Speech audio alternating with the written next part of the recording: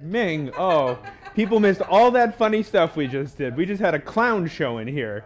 Ming forgot to roll. No, I'm sorry. I ruined everything. No, Ming. You are the show. We were just talking about how my palette knife was crooked and how it was kind of hanging to the. Just leave it alone.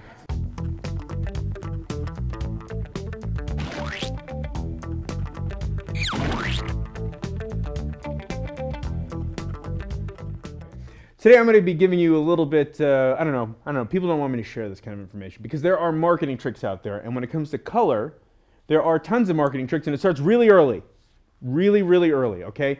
As young as, I don't know, when do you get Crayola crayons? When you get crayons as a kid, they have interesting names like, I don't know, canary yellow or like blueberry, right? That's a, that's maybe? Let me know if you have a blueberry Crayola crayon Fire out there. engine red. Fire engine red. Yeah. The thing is, as we get older, we should have consistency with our color names. but That's not the case. We have adult versions of Fire Engine Red, as Olivia so kindly um, offered. What are some examples of these colors that don't exactly exist? And when I say that, it's because a lot of colors are named either for their pigment or there's there's a consistency involved. Okay. So, what are some examples of those? Uh, was I holding this? Uh, who cares? Maimeri Blue, Dragon's Blood.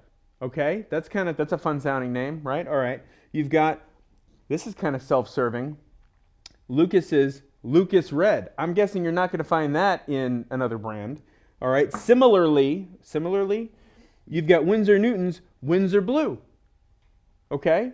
Well, all right. So that's that's interesting. So they have these colors, but but I get confused. Why why do they have a Windsor Blue and another company doesn't have Windsor Blue, besides the obvious. So what's happening? Well, if you look at the range of colors for Windsor Newton, you might notice some um, some of the usual suspects, I'll call them, are not on the list. For example, phthalo colors. Okay, phthalo colors are not available in Luke, uh, excuse me, in Windsor Newton Artist Oil colors.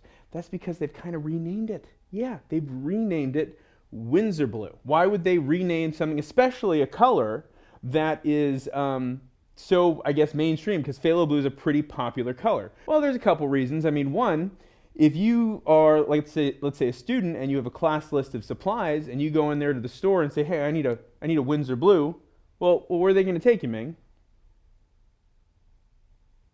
Ming, are you paying attention? Okay, I just I just blew his mind. No, no, no. There's no there's no right answer. It's me. You know, I, I, I'm going to tell you. Okay, Ming says that they're going to take you to the Windsor Newton rack because it's Windsor blue and they only have it. So it's sort of like if they put phthalo blue on that list, you could be taken to any oil paint, but a lot of times teachers want you to use what they use and companies want you to use their product, of course. Some of you guys out there might say, okay, well, I already knew about this and, and all you have to do is look at the pigment number. And that's true, okay? You can always, and this is how you get around the marketing. For those of you that didn't know, tubes of paint are labeled, and well, this is so small, I don't know if you're to be able to see this. They're labeled with pigment numbers, okay? So if you zoom in real tight, teeny tiny, you can see peanut butter 15, or actually PB15, which actually stands for pigment blue 15. And pigment blue 15 is phthalo blue. Now, in all fairness to these companies, besides the marketing tricks, some colors are just kind of hard to pronounce. Now, when I say phthalo blue, that is the shortened version of the full word. I can't even, do you know what the full word is? Phthalo, Phalakinopolis? Is it Greek? It sounds about right. It's probably not, but it you you know it. You you'll be sure to tell me in the comments below. It's a long freaking word, okay? So Windsor blue, that's easy, and I'm already you know you're already abbreviating it with phthalo blue. Plus, it's hard to spell. Have you ever spelled phthalo? It's it's you know a weird word to spell. It's like here. I just want to make sure I get it right. It looks like phthalo. I mean that's phthalo abbreviated. It's not even the full word.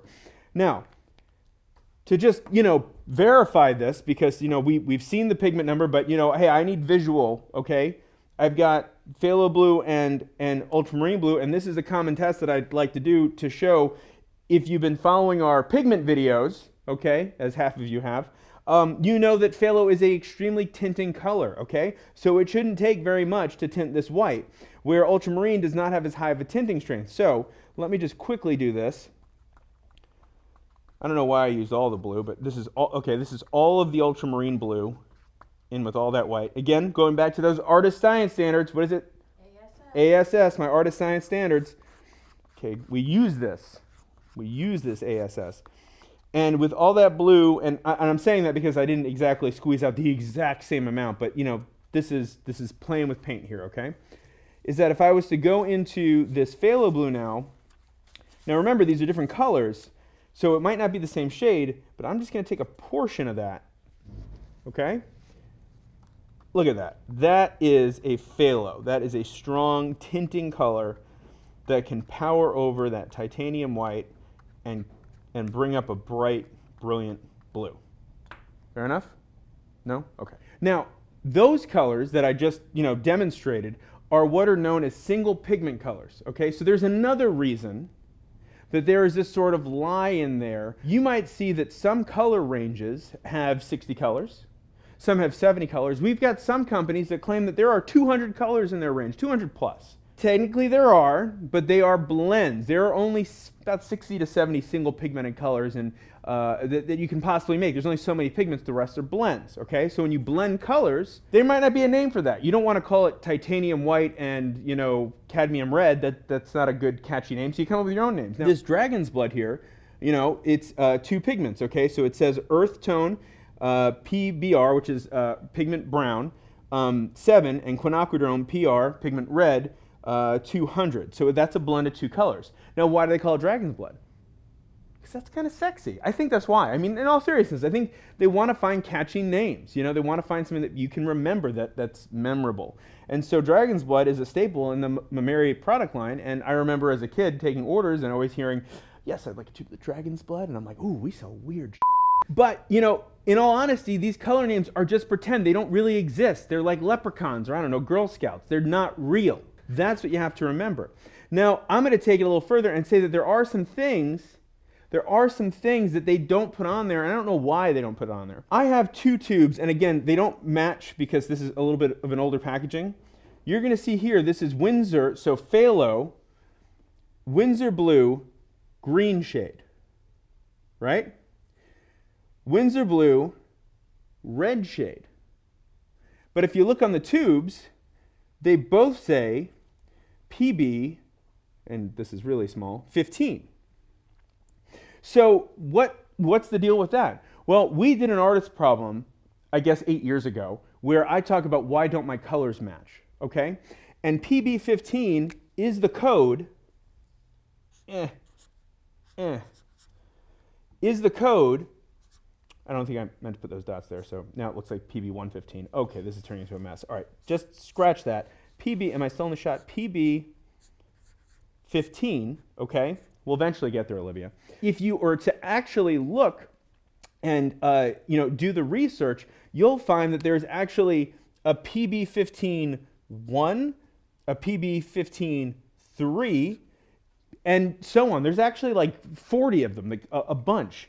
And the reason that a lot of times your pigments might not match or your colors might not match, as we discussed, is there are so many pigment options that you get from these pigment distributors. But when Winsor Newton got this, they said, well, we want to have one that biases red and one that biases green. I don't know why they don't have to put the dot dot one, dot dot three, but if you want to know kind of more specifically on that, you can just search PB, any number, or color pigment numbers on, on the Google. I mean, and you can find full listings. There's so much information out there. I don't want you to fall victim to the marketing if you didn't know that, but I also wanted to explain why, why it was in some cases. It's not all a scam, some of it's a scam. But sometimes it's, you know, when they have 200 colors, you know, if you hear a range that has 200 colors, a lot of it is just a color plus white, a color plus more white a color plus even more white. I mean, that is a bunch of different colors. And they still have a place. It is impressive when you go into a store and see that huge rack of paint, but you don't necessarily need it. So many of those you can mix yourself, if not all of them. But there is a huge convenience factor if you find something that you like. You know, there are, you know, like, you know, a Charvin, like the, the Blue Lagoon or something, you know, Return to Blue Lagoon, I don't know, other kinds of weird things named after movies. That might not even be a real color. I think there's something like, anyway, um, where was I going with this? So there are infinite color blends. You could blend colors literally to infinity, and we could have, you know, we could advertise, you know, the infinity paint line, you know, because they're just, but they're not going to do that. They're not going to mix you know, millions and billions, what's the highest number to infinity? This is going to get confusing. You're not going to have it because you're never going to get through every single tube. You're going to have to do a little mixing on your own, okay? But there are options out there if you want, but it's just a blend of pigments that already exist. So that's the important thing. That's, that's part of the message. Oh, and I should say that Lucas red is simply a pyrrole red, you know? And how did I figure that out? How did I, how did I figure it out? I just, I just typed in pigment PR254 and guess what? The Google told me what it was. Huh, that's a secret busted, okay? It's another crisis averted. So what other questions do you have about, you know, pigments or color marketing or what have been some experiences you've had where you've been confused like, hey, I've never heard of this color, why does it exist? Share your stories below. Share what you hate about me. Sometimes that happens. Share what you love about me. You know I love that. And, uh, and yeah, I would love to hear your comments as usual. So I hope that you can see through the marketing and you can see through the tricks, and I really hope you can see through me on Instagram at Mike Not Jerry, where I'm going to continue to post things that hopefully you can see right through. No, that's not good, right?